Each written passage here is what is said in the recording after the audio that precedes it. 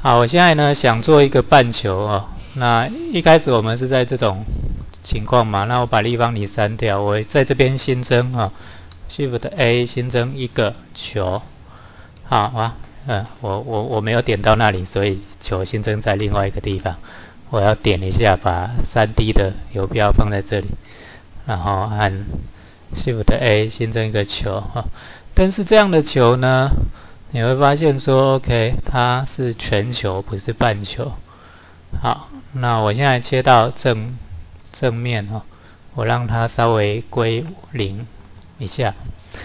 那事实上归零哦，如果你觉得它没有很归零，你可以按 N 键，按 N 键这边会跑出一个视窗哈。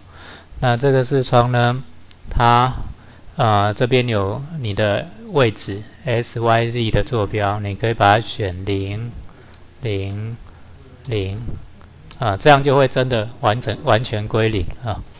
好，OK，那这一个我们现在目的是要做半球，所以我们要先进编辑模式。目前呢，目前还在物件模式嘛，哈，进编辑模式，然后呢，现在是全选，我不要全选，我要选一半。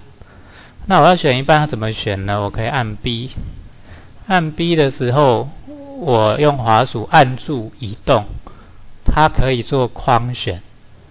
啊，框选之后，你就会发现，OK，这样我选了一半。那我这一排故意不要选，我想说我我把这个删掉，这样就变半球了嘛。啊，如果这一排也这一排也删掉，那好像就不到一半啊。所以我们试试看。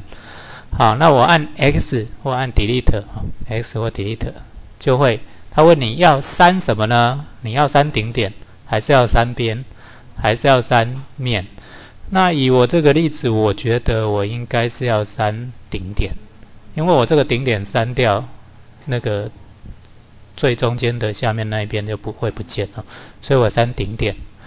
哇，这里有个问题，你会发现我删完之后呢，其实它有半球了，但是问题是它后面那一半还在啊，诶，有可以感觉得出来嘛？哈，就是其实我的后面一半还在，为什么？